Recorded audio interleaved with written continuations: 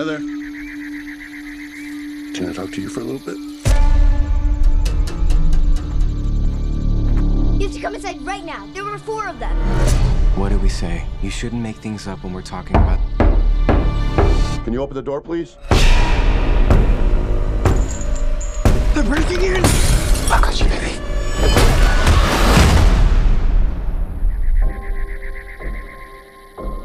We're not here to hurt you, but you have to stay here in the cabin with us.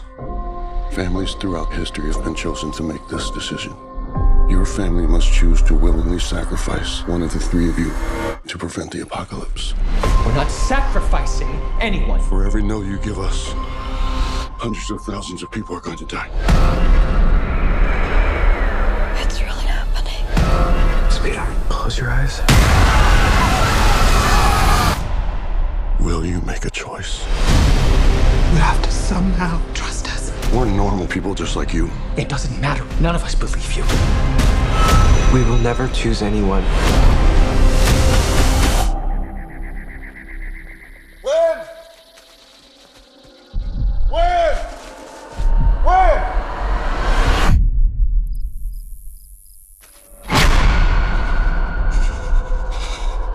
I'm afraid the rule is that no one's allowed to leave until you choose. Do you really think it's all just a coincidence? I have to believe that. My son is gonna die. His name is Charlie. As a mother, I am begging you. You're the only one who can stop this. Andrew, I saw something.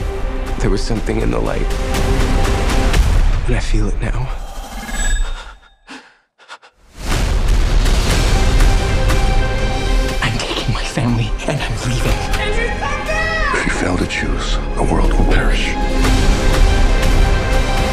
We've been given the chance to decide the fate of everyone. Time's running out on the world. I'm scared. There is nothing more flawed and perfect in this world than our family. Please make a choice. Always together. Always together. I will ask for the last time. Will you make a choice?